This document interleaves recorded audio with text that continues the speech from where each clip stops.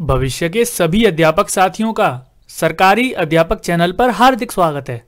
दोस्तों, मैंने आपको बताया था कि आपको चैनल पर दो सुपर टेट की क्लास दी जाएँगी और एक आपकी रीट की और यूपी टेट की संयुक्त क्लास दी जाएगी। अब यहाँ पर मैं आपको बता देता हूँ, सुपर टेट की हम एक क्लास पहले कर चुके हैं। आज हम सुपर टेट की जीके को लेकर चलेंगे, ठीक है? आप सुपर टेट का ऑफिशियल सिलेबस देखोगे तो इसमें ईवीएस e और एसएसटी यानी कि उसमें दिया था पर्यावरण और सामाजिक अध्ययन, दस नंबर का दिया था तो वहाँ से आपके दस प्रश्न आएँगे। और यहाँ पर सुपर टेट की अच्छी बात यह है कि उसमें, वहाँ पर उसने कुछ टॉपिक्स दे दिए थे सिलेबस में, कि उन्हीं टॉपिक्स को पूछा जाएगा सुपर टेट में, ठीक है? तो सिलेबस के अनुसार उन्हीं टॉपिक्स को, जो एक एक करके टॉपिक्स हैं, हम सभी को कवर कर लेंगे, ठीक है? जब आपका सुपर टेट आएगा तभी तक हमारा एस एस कंप्लीट भी हो पाएगा और जब नोटिफिकेशन आ जाएगा एग्ज़ाम की डेट आ जाएगी तो हम केवल प्रैक्टिस करेंगे। तो इसलिए आपको एसएसटी और ईवीएस पढ़ना बहुत ज़रूरी है। टोटल दस नंबर की है, ये दस नंबर के कुछ टॉपिक्स दिए हैं। इसके अलावा जीके और करंट अफेयर अलग से दी है, जो कि आपकी तीस नंबर की है। तो करंट अफेयर भी जीके भी हम वो कवर करेंगे। पहले हम ये ईवीएस और एसएसटी के कुछ टॉपिक्स उसने जो सिलेबस में दिए हैं पहले एक एक करके इनको कवर कर लेते हैं। जिसमें पहला ही टॉपिक उसने दिया था, पृथ्वी की संरचना। तो पृथ्वी की संरचना किस तरह से है? पृथ्वी कैसे कैसे बनी है? क्या उसकी लेयर है? कौन कौन सी चीज़ों से मिलकर बनी है? वो हम आज डिस्कस कर लेते हैं, है ना? ऐसे ही हम पूरे कोर्स को कंप्लीट कर लेंगे। तो चलिए शुरुआत करते हैं। और जितने भी स्टूडेंट नए हैं, सरकारी अध्यापक चैनल को आपको सब्सक्राइब कर लेना है और इसके बराबर में जो बेल आइकॉन बन के आता है, उसको ऑल पर सेट कर लेना है। और जिसने अभी तक टेलीग्राम ज्वाइन नहीं किया है, वो टेलीग्राम ज्वाइन कर लो। वहाँ पर आपकी एग्ज़ाम से रिलेटेड जो भी न्यूज़ वगैरह होती है, सारी हम डाल देते हैं। ठीक है, चलिए शुरुआत करते हैं। पृथ्वी की संरचना के बारे में जान लेते हैं। तो पृथ्वी की संरचना की अगर बात करें तो किस तरह से बनी है? क्या इसका आकार है? है ना? तो वो सारी चीज़ों के बारे में चर्चा कर लेते हैं। तो सबसे पहले एक एक करके पॉइंट्स लिख लीजिएगा। जो बोलते हैं ना, पृथ्वी गोलाकार है, पृथ्वी चपटी है तो ना तो चपटी है, ना गोलाकार है। वैज्ञानिकों ने इसको नाम दिया है लद्वच्छ गुलाब, यानी कि किस आकार की है? ऑबलेट स्फेरॉइड, है ना? किस आकार की है? ऑबलेट एस्फेरॉइड लद्वच्छ गुलाब, है ना? लगभग लगभग गोलाकार है। कैसी है? पूरी गोलाकार नहीं है, लगभग लगभग। और ध्रुवों पर थोड़ी सी चपटी है। ये आपको पता है पृथ्वी के बारे में? सारी चीज़ें आपको पता है। चलिए पृथ्वी की अगर बात करें तो यहाँ पर सबसे उच्चतम बिंदु कौन सा है? माउंट एवरेस्ट है जिसकी ऊंचाई कितनी है? 8,848 मीटर। अब आप बोलोगे 8,850 मीटर हो चुकी है तो वो बढ़ती रहती है ठीक है? आगे बढ़ते हैं दूसरी ओर निम्नतम बिंदु यानी कि पृथ्वी का सबसे गहरा स्थान कौन सा है? तो प्रशांत महासागर में है। कहाँ पर है? प्रशांत महासागर में। कौन सा है? मरियाना खाई मरियाना ट्रेंच मरियाना गर्त। कुछ भी आप बोल सकते हैं, ठीक है? समुद्र, जिसकी समुद्र स्तर से जो गहराई है, वो दस हज़ार नौ सौ ग्यारह मीटर है। यानी कि लगभग दस किलोमीटर अंदर तक गहरी है पृथ्वी, और ऊपर की उच्चतम बिंदु की बात करें तो आपका माउंट एवरेस्ट है ही, चोटी जो सबसे ऊपर है, ठीक है? तो ये पृथ्वी की संरचना है, इस तरह की है पृथ्वी। और इसमें और क्या है? आंतरिक संरचना को, जैसे पृथ्वी की ये में आंतरिक संरचना यहाँ पर बताई गई है है ना? तो इसको तीन भागों में बांटा गया है। ये जो आप सबसे ऊपर सरफेस देख रहे हैं ना, काली पट्टी, ये जो आप काली पट्टी देख रहे हैं इतने हिस्से में, केवल इतने हिस्से में जो मैं मार्क कर रहा हूँ, केवल इतने हिस्से में जो आप काली पट्टी देख रहे हैं, इसको भू भूपर पट्टी बोला जाता है। क्या बोला जाता है? क्रस्ट। पहली परत है ये पृथ्वी की। कौन सी परत है? पहली परत। इसको क्या बोलते हैं? क्रस्ट, यानी कि भूपर पट्टी दूसरी परत यहाँ से यहाँ यहाँ तक है। ये आप देख सकते हैं मेंटल जिसको मेंटल बोला गया है। ये मैं मार्क कर रहा हूँ ना, देखो यहाँ पर मेंटल ये दूसरी परत है। अब दूसरी परत को दो भागों में बांट दिया गया है। ये तो आप देख रहे हैं जो मटीले कलर की, ये है अपर मेंटल और ये जो येलो कलर में आप देख रहे हैं ना, ये है लोअर मेंटल तो यहाँ से लेकर यहाँ तक ये मेंटल है। फिर तीसरी परत कौन सी है? तीसरी परत है कोर, यहाँ पर। जिसको इंग्लिश में क्रोड या फिर कोर कुछ भी बोल सकते हैं आप। ये है क्रोड ये हो गई आपकी तीसरी परत। ये होगी आपकी मेंटल दूसरी परत और ये होगी आपकी पहली परत, जो सबसे काली वाली पट्टी है, छोटी सी परत है है ना? अब इन्हीं के बारे में हम चर्चा करेंगे, ठीक है? इन्हीं के बारे में एक एक करके चर्चा करेंगे। सबसे पहले पृथ्वी की आंतरिक संरचना की अगर बात कर लेते हैं तो पहली यहाँ पर परत कौन सी है? भूपर पट्टी जैसे मैंने आपको बताया ना।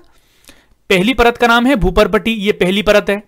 दूसरी है मध्य मध्य स्तर की मेंटल और आंतरिक जो परत है, तीसरी वो है क्रोड। तो पृथ्वी के कुल आयतन का 0.5 परसेंट भूपरपट्टी का है। आप देख सकते हैं भूपरपट्टी में कितना है? 0.5 परसेंट। कितना है? 0.5 परसेंट। है ना? इसके अलावा 83 परसेंट भाग मेंटल का है और 16 प्रतिशत भाग जो है, वो क्रोड ने घेर रखा है। तो तीन तरह से हमने पृथ्वी की जो परत है, उसको बांटा है। है ना? इसी के बारे में हम और चर्चा करेंगे। एक एक करके इन सभी परतों के बारे में। इनकी विशेषताओं के बारे में जानेंगे एक एक करके, ठीक है? चलिए, सबसे पहले यहाँ पर आपको बस इतना नया याद रख लेना है। पहली है क्रस्ट, जिसको आप भूपरपटी या फिर भूपटल कहते हो। दूसरी है मेंटल, तीसरी है कोर। चलिए, अब एक एक करके इनके बारे में चर्चा कर लेते हैं। अब देखिए, ये आपको स्क्रीनशॉट ले लेना है केवल, और इन स्क्रीनशॉट इन तीन पॉइंट्स में मैंने सारी चीज़ें कवर कर दी हैं। इसके बाहर आपको कुछ नहीं पढ़ना। ठीक है, पहली परत के बारे में चर्चा कर लेते हैं। पहली परत कौन सी है? क्रस्ट। जिसको क्या बोलते हैं? भूपरपटी। या फिर भूपटल बोल दे तो कोई दिक्कत वाली बात नहीं है, ठीक है? पृथ्वी की बाहरी सतह जिस पर कौन है? महाद्वीप है, महासागर है। वो किस पर है? भूपरपटी पर ही तो है। अब जो आप पर्वत, महासागर, महाद्वीप, ये सारी चीज़ें हम जो रह रहे हैं, वो किस पर है? वो भूपरपटी पर, पहली परत पर ही तो है। इसको क्या बोलते हैं? भूपटल, ठीक है? भूपटल की जो रचना है, वो सियाल, यानी कि दो चीज़ों से मिलकर बनी है। एक सिलिका एक एल्यूमिनियम, ये धातुएँ हैं, यानी कि कौन सी परत में कौन सी धातु ज़्यादा पाई जाती है, ये वो है। जैसे पृथ्वी की जो पहली परत है परत है ना, भूपरपटी, ये दो धातुओं से मिलकर बनी है, सिलिका और एल्यूमिनियम। सिलिका और एल्यूमिनियम, और सिलिका और एल्यूमिनियम को ही नाम दे दिया गया है सियाल। तो भूपरपटी इज़ इक्वल्स टू करके लिख लो सियाल। सियाल में एस आई लिख लो सिलिका ए एल को लिख लो एल्यूमिनियम, है ना? सियाल शब्द, जो सियाल शब्द दिया गया है ना, इसका प्रयोग सबसे पहले डेली ने किया था। तो ये किसी भूगोलविद का नाम है, डेली। ठीक है तो इनका नाम आप याद कर लेना। ये जो भूप, भूपटल है, पहली परत है, इसकी मोटाई केवल पाँच से तीस किलोमीटर तक है।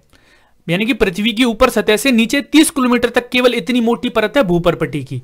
ठीक है? तो सबसे छोटी ऊपरी परत यही है। मैंने आपको दिखाया था ना, बिल्कुल काला काला, देखो, अभी मैं आपको दिखाता हूँ। ये आप देख रहे हैं ना, बिल्कुल काला, बिल्कुल काली वाली परत, पतली सी एकदम। इसकी मोटाई यहाँ पर बताई गई है कि पाँच से तीस किलोमीटर तक है केवल। ठीक है? पहली परत है ये। अब भूपटल की जो बाहरी परत है, भूपटल की जो बाहरी परत है अवसादी चट्टानों से बनी है, जबकि आंतरिक परत ग्रेनाइट से बनी है। तो यहाँ पर यह बोला गया है कि जो हम परतों के बारे में चर्चा करेंगे ना तो पहली परत में हमारी अवसादी चट्टाने मिलती हैं। अब चट्टानों का जो टॉपिक है, वो अलग है। इसके बाद में आपको चट्टान ही पढ़ाऊँगा, ठीक है? कौन सी प्रकार की चट्टाने होती हैं? आग्ने चट्टाने शैले चट्टान चट्टाने अवसादी चट्टाने, चट्टानों के बारे में अगला टॉपिक पढ़ेंगे। आप इतना याद कर लो कि जो पहली परत होती है पृथ्वी की भूपरपटी, उसमें अवसादी चट्टाने पाई जाती हैं और इसकी जो आंतरिक परत है, वो ग्रेनाइट से बनी होती है। वहाँ पर ग्रेनाइट सबसे ज़्यादा पाया जाता है। ठीक है तो ये चीज़ आपको याद रखनी है, पहली परत पृथ्वी की भूपरपटी। इसको सियाल बोलते हैं, यानी कि कौन कौन सी धातु इसमें मिलती हैं? सिलिका और एल्यूमिनियम ज़्यादा मिलती हैं।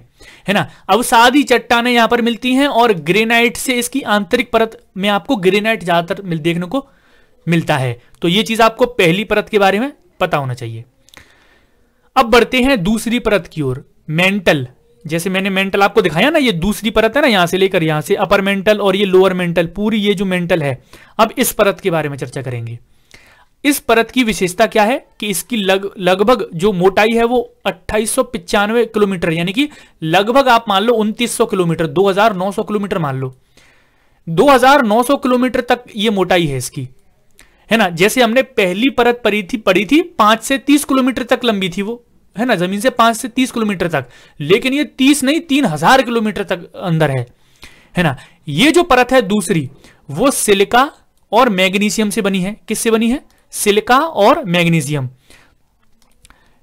चलिए, अब यहाँ पर मैंने आपको बता दी, पहली आपको बोलनी है सिलिका और एल्यूमिनियम। दूसरी परत आपको याद करनी है सिलिका और मैग्नीशियम। ठीक है? पहली कौन सी थी? Silica aluminium. दूसरी जो मेंटल परत है, उसमें क्या है? सिलिका और मैग्नीशियम ये सिलिका और मैग्नीशियम से बनी है। इसलिए इसको सीमा कहते हैं। क्या कहते हैं? सीमा। पहली को क्या बोलते थे? सियाल। दूसरी को क्या बोलते हैं? सीमा। सीमा यानी कि ऐसा ही मतलब कि सिलिका, वही मा एम यानी कि मैग्नीशियम ठीक है? निचली परत में क्षारीय पदार्थ पाए जाते हैं। इसकी एक और विशेषता है कि इसकी जो निचली परत है, उसमें क्षारीय पदार्थ पाए जाते हैं और जो ज्वालामुखी विस्फोट के समय लावा वहीं से बाहर आता है। जो मेंटल की जो परत है ना, सबसे निचली वाली परत, जब ज्वालामुखी फटता है तो लावा वहीं से ऊपर निकल के आता है। जैसे यहाँ पर आपको देख सकते हैं, यहाँ पर ये येल्लो येल्लो है ना, पूरा येल्लो ही तो है लोअर मेंटल लिखा है, ये जो येल्लो ही तो है तो यहाँ से पूरा जो ज्वालामुखी का जो लावा है वो बाहर निकल के यहीं से जाता है। ये इसकी विशेषता है। अब और क्या क्या इसकी इसकी विशेषता है? अब आगे क्रोड की बात कर लेते हैं, जो हमारी लास्ट वाली परत है। हमारी जो लास्ट वाली परत है क्रोड उसकी बात कर लेते हैं। क्रोड व मेंटल की सीमा लगभग 2900 किलोमीटर की गहराई पर है। अब ये इसकी भी गहराई कितनी है? 2900 किलोमीटर, है ना? तो लगभग आप, इससे अगर मैं पूछूँ कि अगर आप ज़मीन में गड्ढा खोदना शुरू करें तो पृथ्वी का एंड कहाँ तक है? आप बोलोगे छह से सात हज़ार किलोमीटर तक अंदर है पृथ्वी हमारे, है ना? तो ये इतनी बड़ी, इतनी इसकी गहराई है, ठीक है? और क्रोड की अगर बात करें तो इसकी भी जो गहराई है वो उनतीस किलोमीटर है। बाहरी क्रोड जैसे मैंने आपको बताया ना, मेंटल जो दूसरी परत है, वो दो भागों में बांटा है। ऐसे ही क्रोड को भी दो भागों में बांटा है। एक है बाहरी क्रोड, जिसको आउटर क्रोड कहते हैं, ये तरल अवस्था में है। जबकि जो आंतरिक क्रोड है, वो ठोस अवस्था में है। इसमें क्या क्या पाया जाता है? निकल और लोहा। यानी कि एन और एफ़ जिसमें लोहा 80 परसेंट है। है ना 80 परसेंट लोहा है ये वही एक एक एक, एक इंपॉर्टेंट चीज़ मैं आपको फैक्ट बता रहा हूँ जो आपके एग्ज़ाम में आ सकते हैं। फालतू में कोई चीज़ आपको नहीं बताऊँगा ठीक है? टाइम वेस्ट नहीं करूँगा मैं आपका पाँच मिनट का भी ठीक है? वही चीज़ें पढ़ाऊँगा क्योंकि उल्टी सीधी चीज़ें दिमाग में जाती हैं तो वो भी वहाँ पर जाकर जो काम की चीज़ें उनको भी हम भूल जाते हैं। चलिए मैं तीसरी परत की बात कर रहा हूँ जिसका नाम है क्रोड। और वो निकल और लोहा से बनी है और जिसमें लोहा की जो मात्रा है वो 80 परसेंट है। इसकी जो प्रधानता है, इसलिए इस परत का नाम है निफे। पहली परत का नाम था भूपरपट्टी, जिसको बोला जाता था सेल। दूसरी परत का नाम था मेंटल, जिसको बोला जाता था सीमा। तीसरी परत का नाम है क्रोड, जिसको बोला जाता है निफे। जिसमें निफे यानी कि एनआई और फे यानी कि एफी निकल और लोहा। आपको ये संरचना समझ में आई कि नहीं आई है? यहाँ पर मैंने आपके लिए छोटा सा लेक्चर रखा था। मैंने कहा पहला लेक्चर मतलब ऐसा होना चाहिए कि जो मैं समझाना चाह रहा हूँ, वो आपके समझ में आना चाहिए। आप चाहे एक घंटा पढ़ो, चाहे आधे घंटा पढ़ो, चाहे दो मिनट पढ़ो, लेकिन जो भी आपको पढ़ाया जा रहा है ना तो वो आपकी बिल्कुल समझ में आ जाना चाहिए। है ना? तो आपको इसमें से तीन चीज़ें याद करनी है। पहली, इन परतों के नाम। भूपरपट्टी मेंटल क्रोड। इनके नाम, उपनाम यानी कि कौन सी धातु इनमें पाई जाती है? सिलिका एल्यूमिनियम तो सेल सीमा यानी कि सिलिका और मैग्नीशियम, निकल और लोहा यानी कि निफे, इसके नाम, ये सारी चीज़ें आपको याद करनी है, ठीक है? तो ये है दोस्तों पृथ्वी की संरचना के बारे में, यानी कि आंतरिक संरचना के बारे में। अब पृथ्वी की संरचना तो बहुत बड़ी है, इसमें चट्टाने भी पाई जाती हैं, इसमें पर्वत भी पाए जाते हैं, बहुत सारी चीज़ें। तो इनके बारे में एक एक करके अलग अलग टॉपिक में हम पढ़ेंगे, ठीक है? ये आपका सुपर टेट जी का पहला लेक्चर था उम्मीद करता हूँ ये वीडियो आपको ज़रूर पसंद आई होगी। अगर आपको यहाँ से कुछ भी सीखने को मिला है तो इस वीडियो को आप लाइक करेंगे, शेयर करेंगे, पहली बार तो चैनल को सब्सक्राइब कर लेंगे बेलाइकन को ऑल पर सेट कर लेंगे। मिलते हैं आपसे नेक्स्ट वीडियो में। आज के लिए इतना ही, धन्यवाद।